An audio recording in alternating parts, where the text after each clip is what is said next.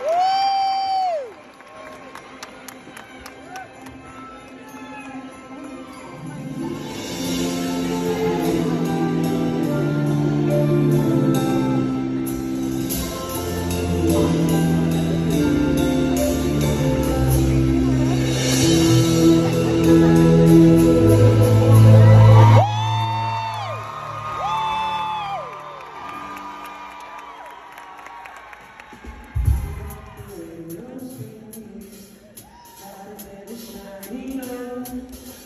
the other side, we would be safe.